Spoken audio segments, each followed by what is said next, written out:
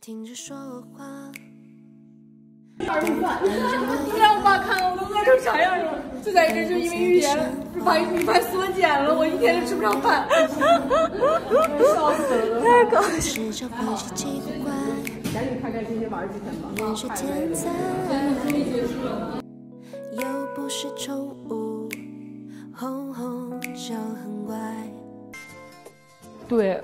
这个吃饭这个真的是个问题，就是刚开始呢，他们不让去便利店，然后呢，我每天呢就是在这只能吃盒饭，然后呢，本来呢盒饭是蛮多的，但是后来呢，因为大家非得说我们都胖了，然后把盒饭从这么大就剪成了这一口，然后呢，每个盒饭里就这么一口，你们知道呢，我想吃，我喜欢吃大米饭，我想吃到饱，我就得吃好多的大米饭，然后结果呢，你知道我可怜到什么地步吗？就每个人嘛拿完自己的盒饭，都把那个大米饭往我往我盘子里倒，你知道我就像个要饭的一样，但是我真的很像要。饭的，然后就是每天我的这个一口的盒饭就会被左一口右一口左一口右一口的就磨成一个山，所以就导致我每天就吃的就是也蛮快乐的。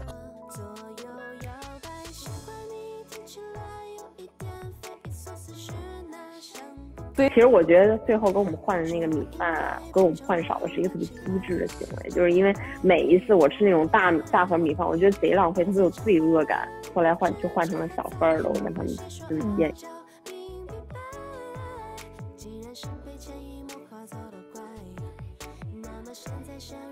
算失败，爱就爱。